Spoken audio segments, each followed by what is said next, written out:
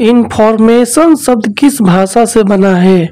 तो इन्फॉर्मेशन शब्द जो है, वो लैटिन भाषा के इन्फॉर्मा से बना है, इन्फॉर्मेशन शब्द। और नेक्स्ट जो है, सूचना प्रवाह के सही क्रम क्या है? तो देखिए, सूचना प्रवाह का जो सही क्रम है, वो है डी आई के डब्ल्यू यानी डी फॉर होता है डेटा आई फॉर होता है इंफॉर्मेशन के फॉर होता है नॉलेज और डब्ल्यू फॉर होता है विजडम यानी जो डेटा होता है वो कच्चा है रॉ मटेरियल है.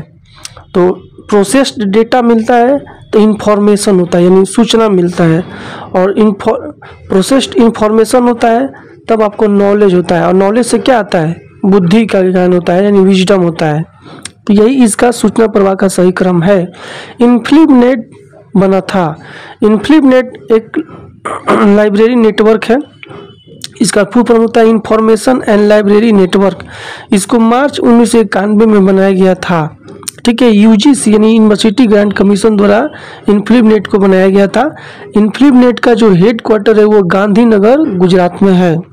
ठीक है, और इन्फ्लिपनेट इन्फ्लिपनेट के बहुत सारा प्रोग्राम जैसे शोध गंगा शोध गंगोत्री, ये सब इन्फ्लिपनेट का प्रोग्राम है। ठीक है? और ये जो है ना यूनिवर्सिटी लाइब्रेरी का एक नेटवर्किंग काम करता है। तो क्वेश्चन पूछेगा इससे इंप्लीमेंट से बहुत सारा क्वेश्चन बन सकता है। कि ये सारा क्वेश्चन दोस्तों कंपटीशन एग्ज़ाम में और बिलिस के एग्ज़ाम में आया हुआ है, वहीं से उठा करके लाया गया है। क्वेश्चन पूछा कि इन्फ्लुएंट किस टाइप की लाइब्रेरी के लिए नेटवर्किंग का काम करता है? तो एकेडमिक लाइब्रेरी के लिए काम करता है। जितने भी यूनिवर्सिटी की लाइब्रेरी है, उसके लिए नेटवर्किंग का ये काम करता है इन्फ्लिमनेट ठीक है? नेक्स्ट पोप्सी पोप्सी का फुल फॉर्म क्या होता है? तो पोप्सी एक देख लिए एक इंडेक्सिंग है। एक इंडेक्सिंग पद्धति है, इसका फुल फॉर्म होता है। Postulate postulate based permuted subject indexing ये पोप्सी का फुल फॉर्म होता है। इसको गणेश भट्टाचार्य ने 1968 में इसका निर्माण किया था। पोप्सी में इंडिया का है ये।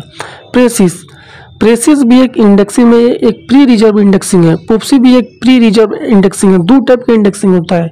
एक पोस्ट इंडेक्सिंग होता है और एक प्री रिज़र्व इंडेक्सिंग होता है। तो पोप्सी और प्रेसिस ये दोनों आपका प्री रिज़र्व इंडेक्सिंग है और प्रेसिस का फुल फॉर्म होता है preserve context index system इसको डोरेक एस्टिन ने 1968 में प्रेसिस को बनाया था। नेक्स्ट सीपीएम का फुल फॉर्म क्या होता है? सीपीएम का फुल फॉर्म होता है क्रिटिकल पाथ मेथड इसको भी आपको जो ड्यू पॉइंट में काम करने वाले था, वाकर एंड किली। उन्होंने इसको 1950 में वाकर एंड किली ने सीपीएम को बनाया था और सीपीएम का संबंध आपका मैनेजमेंट से है। क्वेश्चन पूछेगा सीपीएम का संबंध किससे है? तो मैनेजमेंट से है। पॉट पॉट भी एक मैनेजमेंट टेक्निक है। इसका फुल फॉर्म होता है प्रोजेक्ट इवोल्यूशन रिव्यू टेक्निक इसको यूएस नेवी ने बनाया था। ठीक है? मैनेजमेंट का संबंध भी इसी से है। प्लॉट का संबंध मैनेजमेंट से ही। है जेड बी बी एस ठीक है? यानी जेड बी बी एस का फुल फॉर्म क्या होता है? तो ज़ीरो बेस्ड बजटिंग सिस्टम ये लाइब्रेरी बजट का टाइप है जेड बी बी एस यानी ज़ीरो बेस्ड बजटिंग सिस्टम इसको 1970 में पीटर फायर अमेरिका का पीटर फायर था, वही बनाया था। तो आपसे पूछेगा कि father of Z B B S budget Peter Pyhrr Z B B S budget कब बना था? 1970 में। फुल फॉर्म क्या होता है? Zero based budgeting system. इस टाइप का एक और क्वेश्चन बन सकता है कि नए वर्ष में नया सिरा से नया बजट बनाने की प्रक्रिया को क्या कहते हैं? तो zero based budget system. English में जेड बी बी एस। चार क्वेश्चन, एक क्वेश्चन में दोस्तों छिपा हुआ है।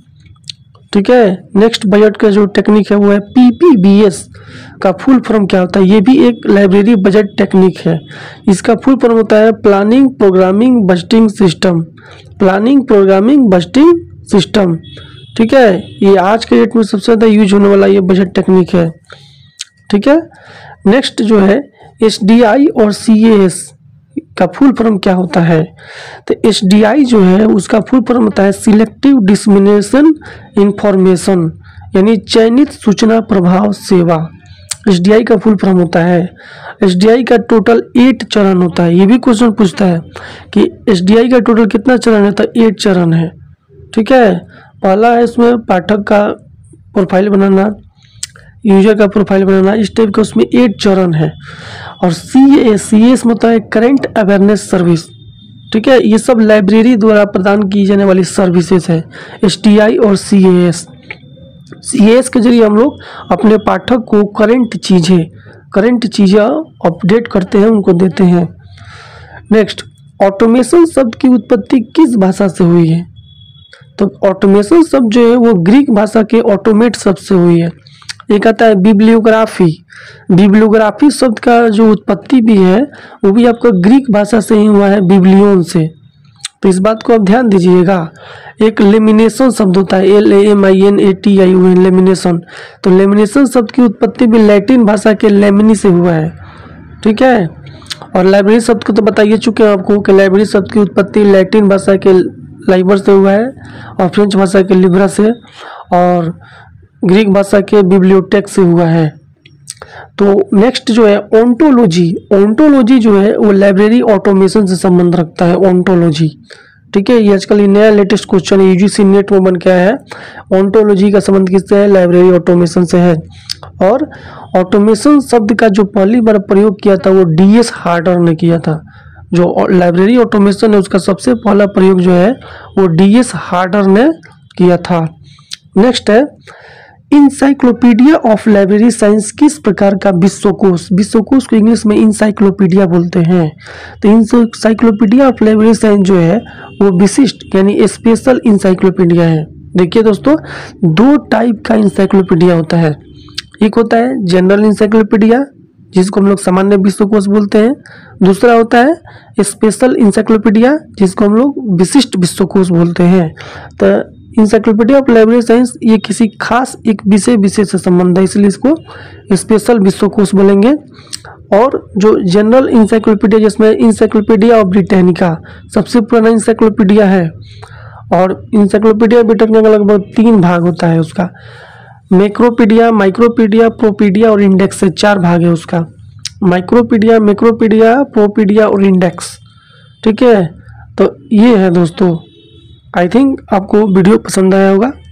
अगर आप मौलाना मजूल यूनिवर्सिटी से बीलिस यानी bachelor of library and information science या DOL diploma of oriental librarianship का कोर्स कर रहे हैं तो इसके लिए ये जो गाइड जो है, पुस्तकालय विज्ञान एवं प्रश्नोत्तर गाइड ये गाइड मौलाना मजूल यूनिवर्सिटी के बीलिस और डोल दोनों का जो थ्योरी का एग्ज़ाम होता है उसी के लिए बनाया गया है। इसमें थ्योरी का जो भी पाँचों पेपर है, जिसमें ऑब्जेक्टिव भी रहता है, दस टू और सात नंबर के क्वेश्चन उत्तर रहता है, चार क्वेश्चन लिखना होता है तो इसमें आपको दोनों है ऑब्जेक्टिव भी है और सब्जेक्टिव भी, यानी क्वेश्चन उत्तर भी है। इसी गाइड में से सारा बेलिस का और डोल एग्ज़ाम में आता है। तो इसीलिए अगर आप बेलिस का डोल एग्ज़ाम का गाइड लेना चाहते हैं तो ये जो गाइड जो है, पुस्तकालय विज्ञान प्रश्नोत्तर गाइड ये आप ले सकते हैं। मौलाना मजूला यूनिवर्सिटी के, या बेलिस का अगर आपको असाइनमेंट चाहिए, बना बनाया, या प्रोजेक्ट चाहिए, बना बनाया, या क्वेश्चन बैंक चाहिए प्रीवियस ईयर पेपर का तो घर बैठे इन सभी गाइड नोट्स असाइनमेंट प्रोजेक्ट लेने के लिए घर बैठे। ये जो नंबर है seven zero seven nine two nine seven five seven four इस पर आप कॉल करके घर बैठे, आप गाइड और बना बनाया असाइनमेंट बना बनाया प्रोजेक्ट और प्रीवियस ईयर क्वेश्चन बैंक सब ले सकते हैं, बिल्कुल मिनिमम प्राइस पे।